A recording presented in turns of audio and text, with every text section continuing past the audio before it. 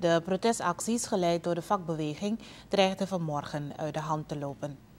Betogers die vanuit het Kerkplein naar de Belastingdienst aan de Grote Kombeeweg hebben gelopen, probeerden het terrein van het Belastingkantoor binnen te dringen.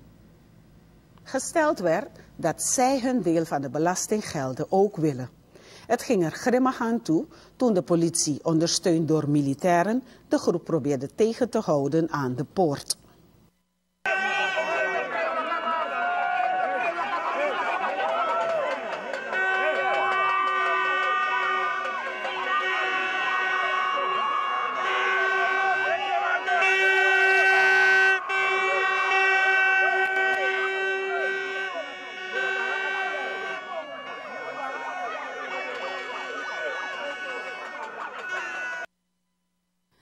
Protesterenden begaven zich daarna naar de Herenstraat, waar de afdeling administratieve diensten van het ministerie van Minau is ondergebracht. Daar slaagden zij wel in het gebouw te bezetten. Het gelukte de politie om hen zonder zwaar verzet uit het gebouw te krijgen. Evenals de twee vorige dagen hebben werknemers van diverse bedrijven deelgenomen aan de actie. Ook de leerkrachten waren, ondanks de no-work, no-pay maatregel van de regering, goed vertegenwoordigd. Robbie Berenstein, coördinator van de Raad van Vakcentrales in Suriname, Ravaxuur, zegt dat er vanaf nu een ander actiemodel wordt toegepast. Hij laat weten dat de groep nu voor specifieke doelen zal gaan.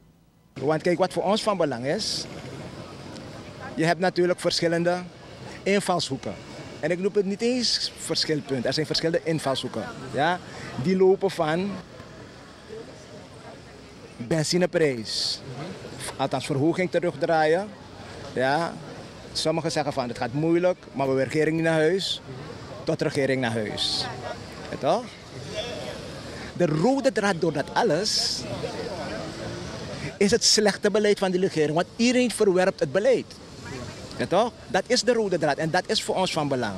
Ja, toch? Op dat stuk zijn we bezig met elkaar een, een, een GGD Waarvoor staat die afkonting ook alweer? Grote gemeenschappelijke delen. Hè? In ieder geval een GGD te zoeken.